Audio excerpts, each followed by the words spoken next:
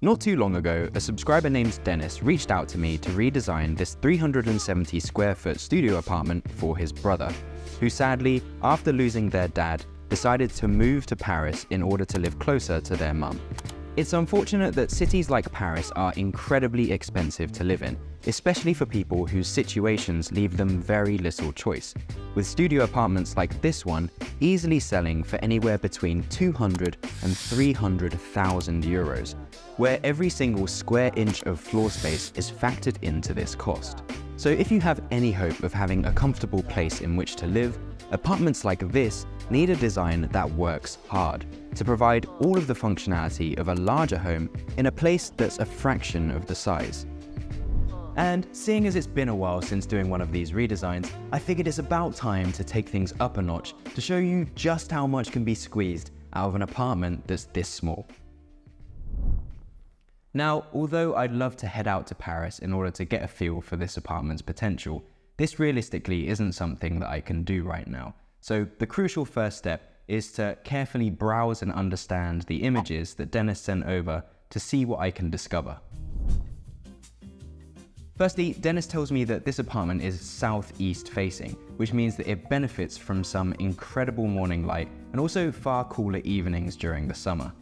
And from the photos, the first thing that stands out to me is that this apartment appears to be in pretty good nick.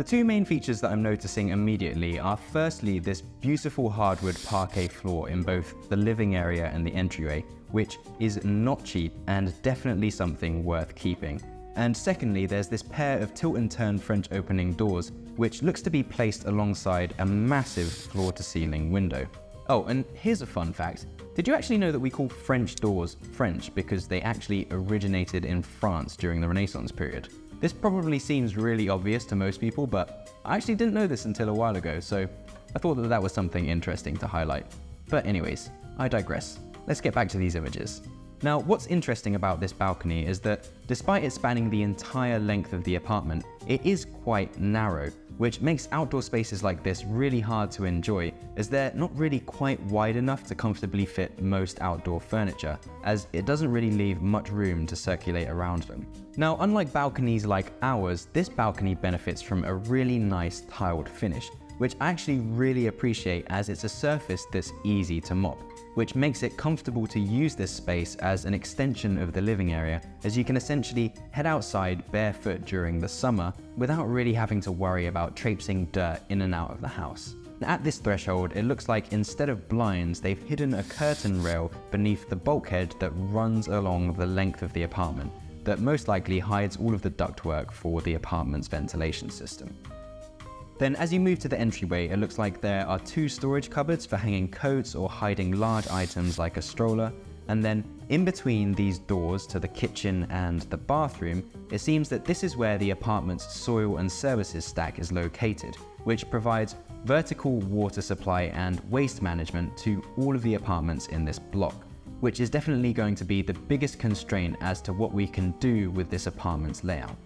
Then over in the kitchen, this does actually have a somewhat efficient layout by spanning it across a single wall, which avoids some of the wasted space that you usually end up with when you have corner cabinets. And along this run, it looks like it has a gas stove, which means that there is a gas supply to this apartment, and what looks to be a space for a dishwasher as it's next to the sink meaning that if you have a standalone fridge freezer, this is something that you're going to have to place somewhere else in this room. Now this is a challenge as it seems like it's trying to provide enough space in this room for a dining area too, which kind of makes this room a little bit depressing as realistically, thanks to this kitchen's width, it can't really accommodate more than two people at once for eating without encroaching on the circulation space for the worktop, which makes it not very effective for entertaining guests. And then when you head across to the bathroom, it's located right between this kitchen and the living area, effectively dividing these two spaces with a very generous shower right next to the window and it looks like it's finished in a pretty generic cheap white tile where the toilet is located in the closest proximity to the apartment's services stack which I mentioned previously, which keeps the drainage run for waste to a minimum. And this is probably the biggest constraint if we're going to make any changes to this apartment's layout.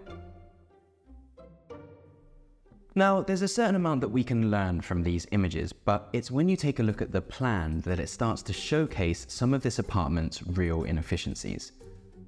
Despite this bathroom being refurbished not that long ago, it takes up such a large amount of the total floor area, with a room that only accounts for a fraction of this apartment's use, which makes it quite an inefficient use of space. And then by the kitchen and the dining area being separated from the main living space by this room, it segregates the heart of the home from the most enjoyable space in the apartment, which is the area that enjoys the most natural light through these French doors which lead you out to the balcony, which to me is the space where you're most likely to want to enjoy your meals. Now, with a studio apartment like this, what people tend to do is just fill it with typical everyday furniture, probably because they found it for a good deal online or because they simply like the look of it, which is completely understandable. So what someone might do is place a typical double bed up against the wall furthest from the window as sleep doesn't really benefit from the natural light and then this leaves enough space next to it for a sofa and perhaps a workspace and TV next to these French doors, which would then facilitate Dennis's brother's work from home needs as he does this from a laptop for around 50% of the week thanks to his job in IT. But with a layout like this, I can see that you're typically going to end up reluctantly eating meals out of that cramped and dingy kitchen or simply on your lap in front of the TV. And because the bed is now on show and there aren't really all that many places to sit, you can't really use this space to comfortably entertain guests which I think is a real shame as it seems that a large incentive for this whole move in the first place was to live closer together as a family in order to care for one another. But thankfully, there is quite a lot we can do to fix this. Now, if I was doing this on a budget, one way around this might be to include a coffee come dining table of some sort, a bit like the one that I owned in my London flat. And what this would do is allow dining to happen in this main space for more than two people at once when paired with folding chairs. And what this will do is free up the kitchen to utilize this unused space for more countertop or storage, which could even include a breakfast bar. And what this would do is still keep the kitchen somewhat social by providing some seating, while also utilizing the space in the living area for dining. Alternatively, instead of opting for a transforming dining table, you might opt for a wall or daybed instead. And what this would do is allow space for a proper dining table that doesn't have to be moved around several times a day where you may have noticed that wall beds are actually becoming a quite typical solution for most studio apartment developments, as it makes the apartment feel quite generous and opens up the space for things like exercise, projects, or entertaining, because essentially it makes the largest furniture item in your home completely vanish. But the fact of the matter is, with all or any combination of these budget options, it's hard to get around the fact that so much of the natural light coming from the windows is going to waste in a closed off bathroom that gets barely any use. And regardless of what you do with the kitchen and the dining area, there's no denying that both of them are just too small to do either of their jobs particularly well. And I don't know about you, but despite this keeping things to a budget, it just leaves me a little bit uninspired, as actually none of this touches any of the apartment's architecture.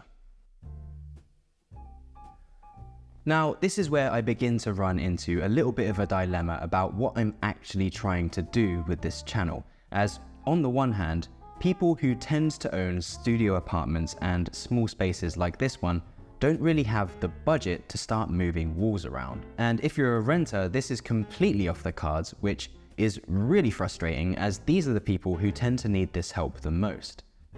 However, when it comes to this apartment, Dennis's brother actually owns this place, and in his application, Dennis mentions that his brother wants this place completely future-proofed because the cost of real estate in Paris is so high. So if this really is the case with this apartment, and there's a willingness to completely tear it apart and coordinate with all of the various consultants and trades that are required to pull off a project like this, it can actually be argued that it makes a lot of sense to completely remodel an apartment like this one.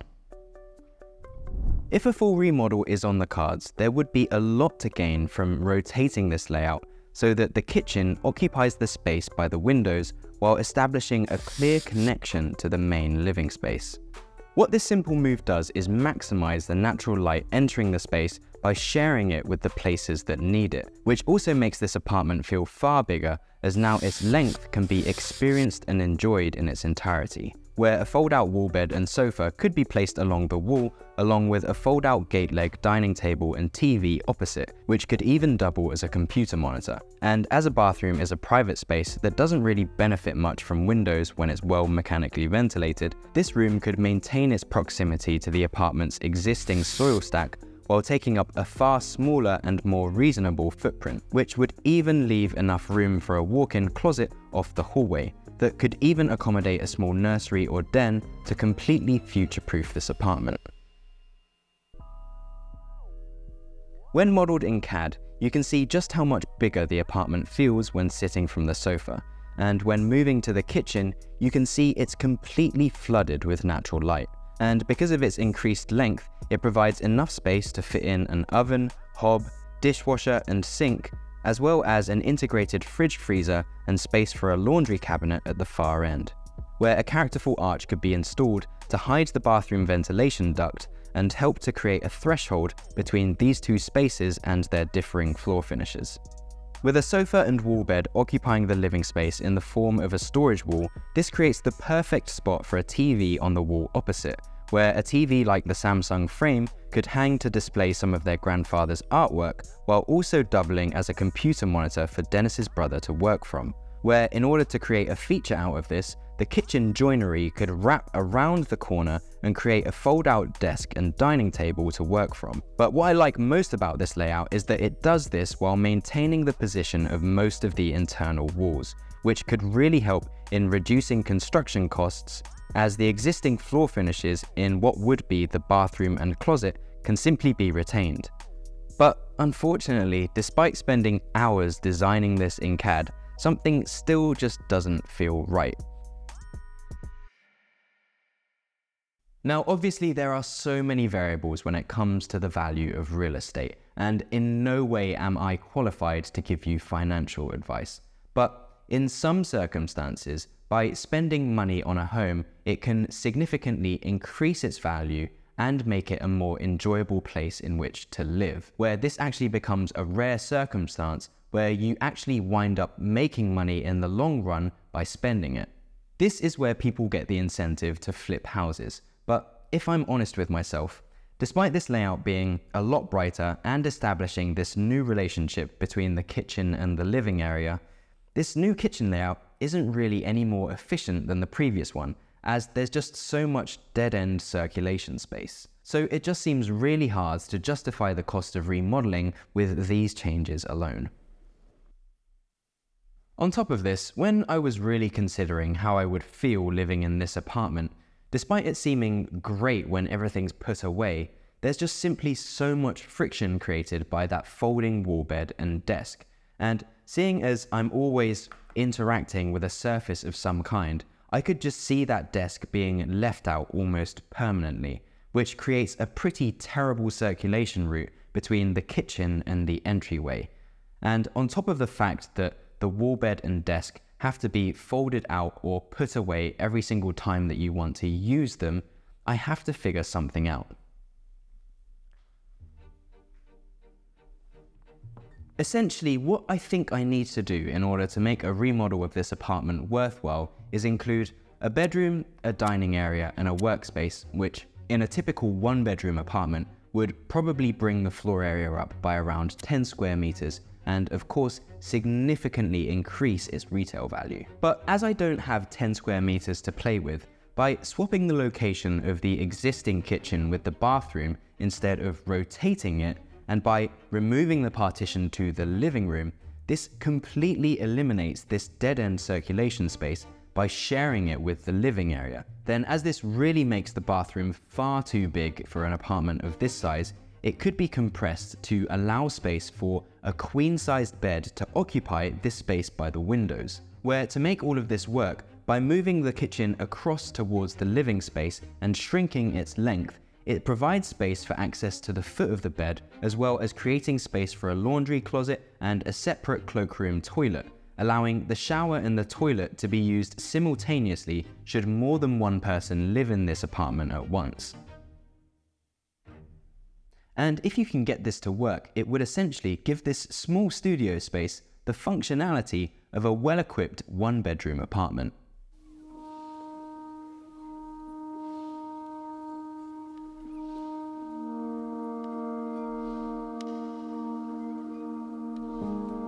After a lot of tweaking, I think I've finally come up with possibly the best layout you can possibly fit inside of this apartment. As you come through the front door, the existing closet space has been retained, but modified to include mirrored sliding doors to help this dark space feel a little bit larger,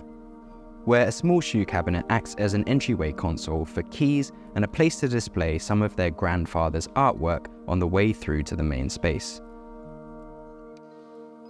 The main feature of this layout is undoubtedly the kitchen, which is finished with white finger pull cabinets and a pale terrazzo countertop to both maximize the light in the space and not compete with the characterful parquet floor.